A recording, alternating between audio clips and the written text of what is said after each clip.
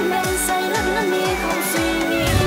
Là từng ngày nắng lên nụ cười anh ghé qua. Chờ người đến bên say don't worry đưa tay cho anh đưa bên sự ấm tim chung nhịp đập ta giấc mơ mơ về.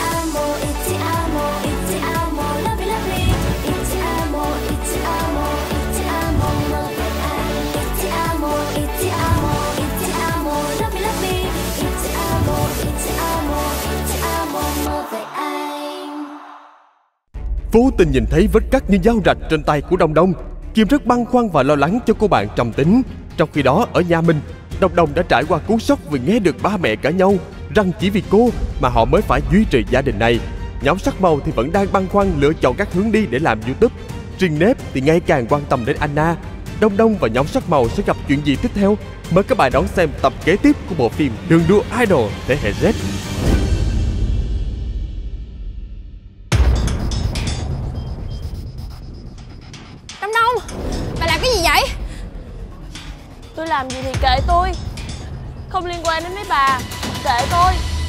Làm nghệ thuật á Nên có một trái tim nhạy cảm một xíu. Chứ yếu đuối quá Thì cũng không nên đâu. Để em cho anh mượn, anh xài đỡ. Tí em đưa anh ha. Anh thấy ngại quá à. Dạ, có gì đâu. Thương quá à.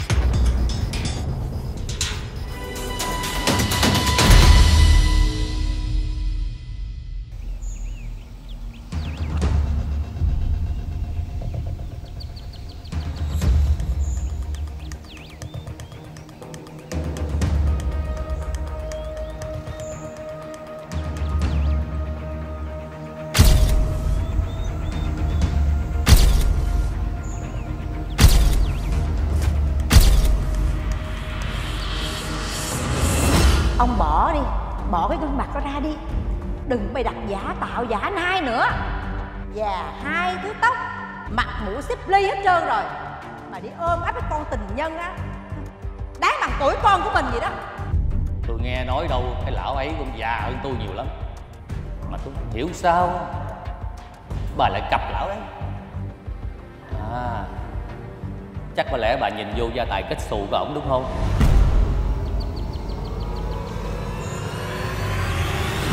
Tôi không ly dị bà đó là biết tại sao. Chẳng qua vì con chúng ta thôi. Tôi chỉ muốn con Đông Đông đó Nó sống và lớn lên. Cũng như bao đứa trẻ khác Cũng còn đủ cha, đủ mẹ. Cho nên bởi vậy tôi phải chịu một tù. Trong ngôi nhà này rất là khó chịu tôi Bà biết không? Ông đến đây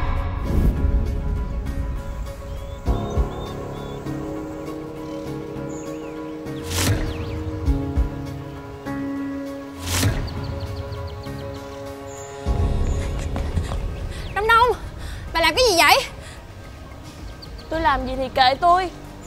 Không liên quan đến mấy bà. Bà đừng còn làm gì dài dột. Có gì thì ngồi xuống nói chuyện Rồi mình cùng nhau giải quyết. Phải đó, chuyện gì cũng có thể giải quyết mà. Bà xuống đây đi. Mấy bà Không phải là tôi. Không ở trong hoàn cảnh của tôi. Thì làm sao mà hiểu được chứ? Sự tồn tại của tôi Chính là nguyên nhân dẫn đến mọi đau khổ trong gia đình. Tôi sống Mọi người sẽ cùng bất hạnh Tôi chết đi rồi. Mọi người sẽ vui vẻ hơn. Bà đừng có nói như vậy mà. Ba mẹ bà chắc chắn là rất thương bà. Ai cũng quý bà hết á. Bà nghe tụi tôi đi mà. Bà xuống đây đi. Xuống đây với tụi tôi đi. Bà tiến lên là tôi nhảy á.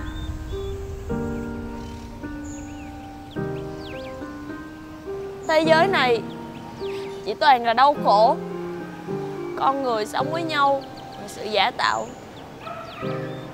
Vậy thì có gì đáng Để tôi lưu luyến ở lại nữa chứ?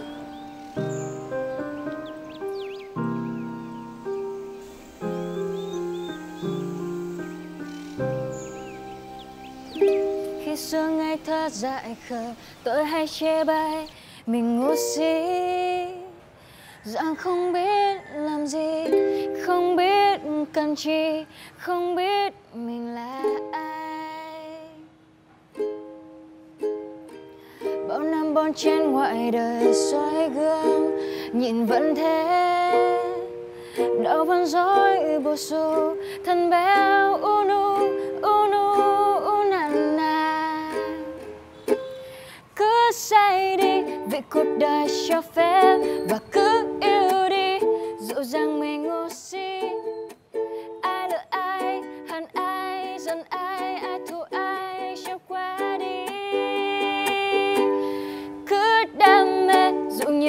cười chê và cứ vui lên. Vì ta Đông Đông. Hãy nghĩ tới ước mơ. Nghĩ tới cảm xúc được thăng hoa trước âm nhạc. Con người. Có thể sống giả tạo với nhau. Nhưng cảm xúc trước âm nhạc Luôn là chân thật nhất Bà không luyến tiếc cảm giác được thăng hoa với âm nhạc hay sao? Tôi Bà không nhớ. Đam mê của bà là gì sao? Được đứng trên sân khấu. Được nghe tiếng người hâm mộ cổ vũ. Chưa đạt được những điều đó. Tại sao lại muốn đi tự tử chứ? Đúng rồi đó Đông Đông. Bà đừng làm chị dại dột nữa. Mấy bà Sao lại muốn cứu tôi? Tụi tôi không muốn bà chết. Bà còn ba mẹ Còn tương lai mà nữa. Bà nghĩ đi Nếu bà chết rồi Ba mẹ bà sẽ ra sao hả? Ở lại với tụi tôi đi.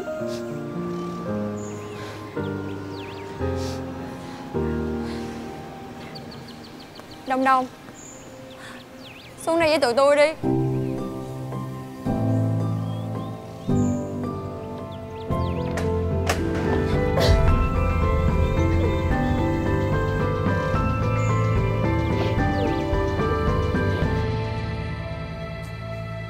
Hóa ra chuyện gia đình của bà buồn như vậy hả?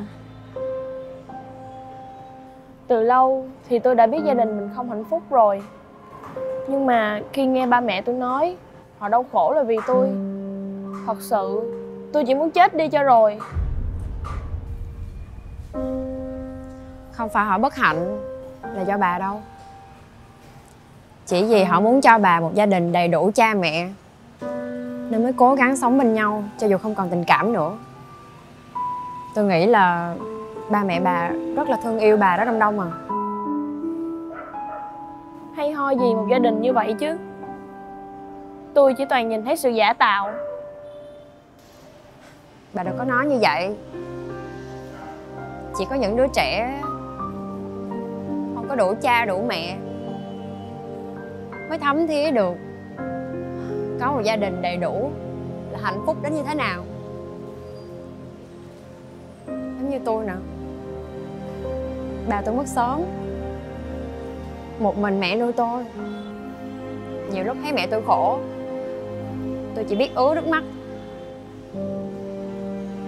Rồi bạn bè, có ba người ta dẫn đi chơi. Tôi cũng ghen tị lắm chứ bộ.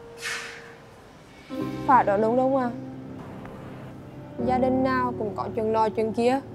Chỉ là người ta không muốn kể ra thôi. Cho nên ba phải thật mạnh mẽ để vượt qua được mọi việc. Đúng rồi đó. Bà còn tụi tôi nữa mà. Tụi tôi luôn ở bên bà. Cảm ơn mấy bà nhiều lắm.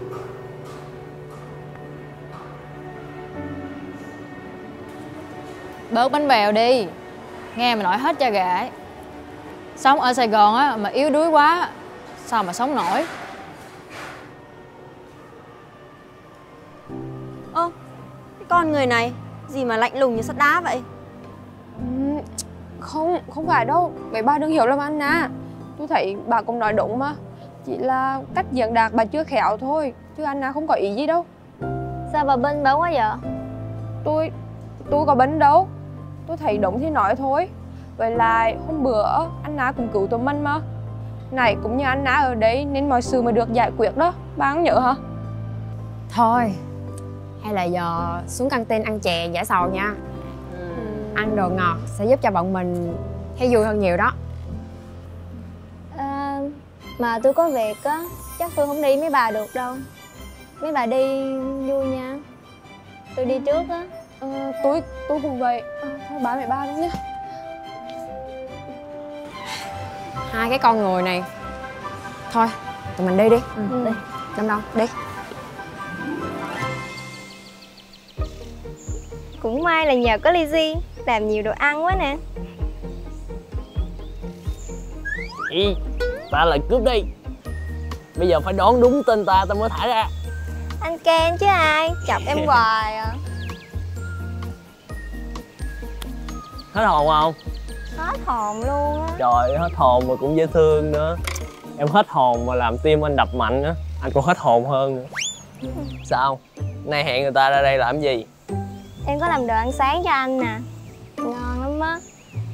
Ngon vừa bổ. Mà còn hợp vệ sinh nữa nha. Yeah, bánh mì. Hơi bị đảm đang luôn nha. Để coi trong đây là cái gì. Wow, trứng ốp la Sao biết anh thích ăn món này vậy? Anh là fan ruột của trứng ốp la luôn.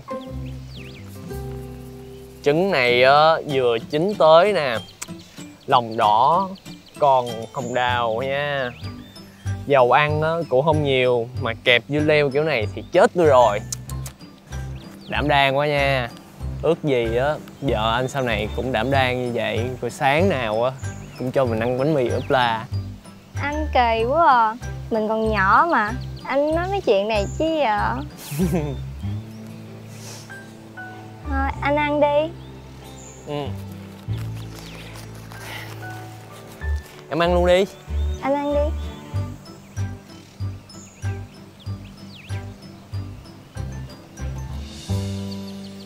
Sao anh buồn quá vậy? Bộ em làm không ngon hả? không có mà em làm ngon lắm mà anh đang có mấy chuyện rắc rối á mỗi lần anh nghĩ tới mấy chuyện đó là anh làm gì cũng không được luôn. Có chuyện gì anh nói với em đi. Anh cũng không biết là có nên nói với em mấy chuyện này không nữa. Thì cứ nói đi, biết đâu em giúp được anh mà. Ờ, chuyện là anh có một ông anh thân lắm đang bị viêm phổi nằm bệnh viện mấy tháng nay rồi viện phí á, thì ông lo không nổi. Rồi thời gian vừa rồi á anh hỗ trợ ổng lấy tiền đi học đưa cho ổng đóng. Mới hôm qua nè tới kỳ hạn đóng học thêm á anh đâu có tiền đóng đâu. Cho nên giờ anh không biết làm sao nữa. Có gì đâu, chuyện nhỏ mà. Em cho anh mượn nha. Em á, thì làm gì có tiền cho anh mượn. Em còn ở nhà trọ nè rồi chưa kể tiền đi học sinh hoạt phí của em nữa. Không sao đâu, ba mẹ em có tiền mà. Tháng nào ba mẹ cũng gửi dư tiền cho em á. Để em cho anh mượn, anh xài đỡ. Tí em đưa anh ha. Ừm, anh thấy ngại quá à. nhưng mà dù sao cũng cảm ơn em nha. Dạ, có gì đâu. Thương quá à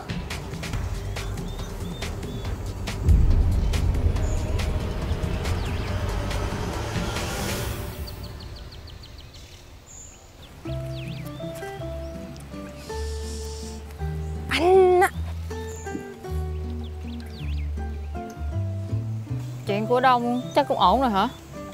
Ừ, tụi tôi cũng khuyên đúng rồi Nên giờ bà cũng vui hơn rồi. Vậy được rồi. Làm nghệ thuật á Nên có một trái tim nhạy cảm một xíu. Chứ yếu đuối quá Thì cũng không nên đâu. Tôi thấy ba nói đúng. À, tôi có cái này cho ba này Gì vậy? Bánh mì tôi tự làm á.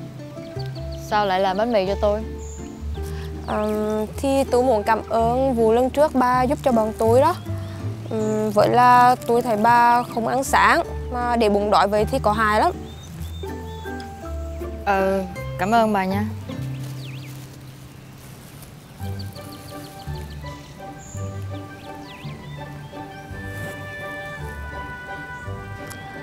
Mà bà mặc đồng phục nhìn dễ thương ghê á.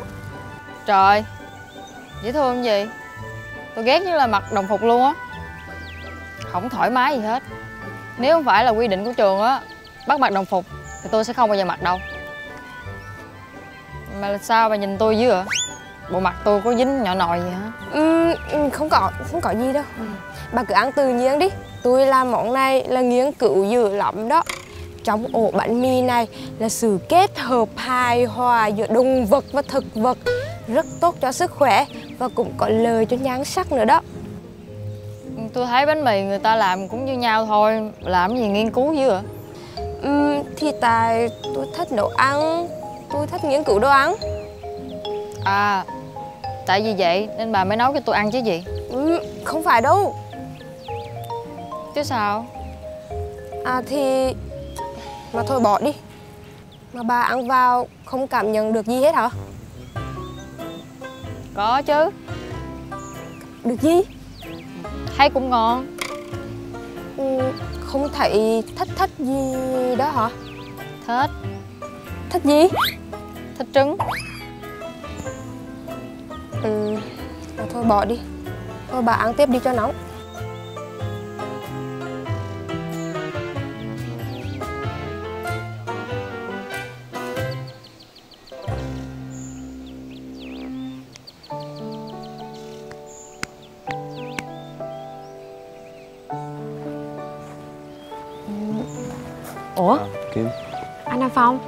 Sao anh không vô nhà đi? Ngồi đây làm cái gì vậy? À, Anh qua gặp Thiên Di Nhưng mà Không có gọi cho Di trước. Cho nên là Di không có ở nhà. Anh ngồi đi đợi được rồi. Em mới về hả? Ừ, Dạ. Em đi mua chút đồ. Ờ. Ừ, Công việc của anh với chị Thiên Di dạo này sao rồi? Ừm, Cũng ổn. View khá là tốt Chắc sắp tới nhà tài trợ sẽ đặt hàng quảng cáo tụi anh nữa. Với lại ờ, Sắp tới tụi anh cũng sẽ làm nhiều clip chất lượng hơn. Còn tụi em thì sao? Sắp quay chưa? ừ, Dạ. Lần đầu tiên quay nên tụi em cũng không biết làm sao để ấn tượng Mà cũng chưa nghĩ ra chủ đề nữa. Lần đầu tiên của tụi anh cũng vậy đó. Nhất là Thiên Di. Cổ lo lắng đủ thứ hết. Mà anh nhớ lại hồi đó tụi anh cũng thử đủ thể loại hình thức biểu diễn hết Mà vẫn không bật lên được. Tưởng chừng như là bỏ cuộc đó. Mẹ Thiên Di còn gây sức ép để cổ quay trở lại học ngành kinh tế. Còn Bobby, thằng bạn của anh Thì bỏ nghề Quay trở về gia đình phụ giúp gia đình kinh doanh. Còn anh thì không khá gì hơn.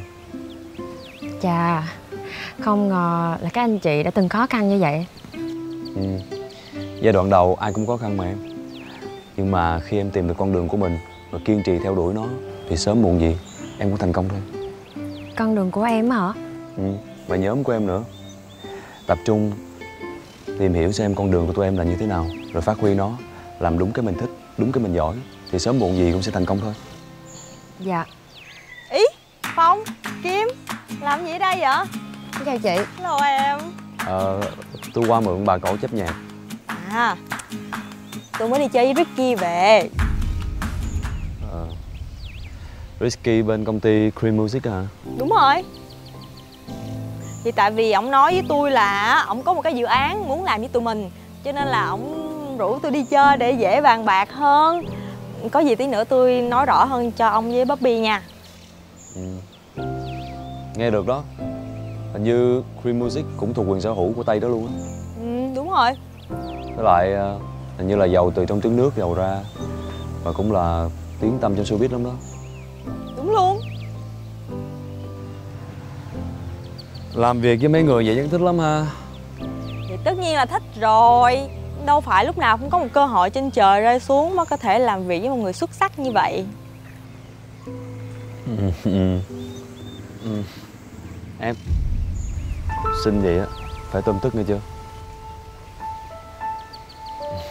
Quay vào đây anh chỉnh cho. Ừ, Xinh rồi đó. Đúng rồi Con gái á, là phải tóc tai gọn gàng Thì con trai mới thích. Ừ. Hay là anh chị vào nhà nói chuyện đi. Ừ, Ok, vậy mình vô nhà đi. Ờ.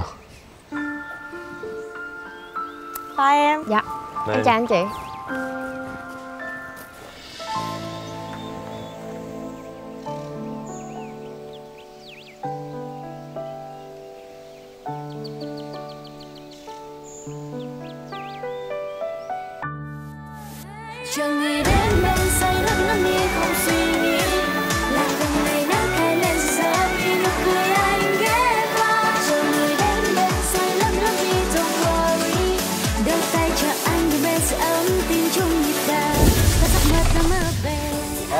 cái biểu hiện này à... là biểu hiện của sự lương lẹo.